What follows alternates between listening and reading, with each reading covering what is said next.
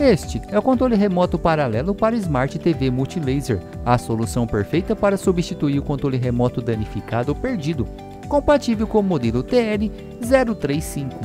Embora seja um modelo paralelo, o controle remoto possui todas as funções e características do controle remoto original. Tudo o que você tem que fazer é apenas colocar as pilhas e utilizar.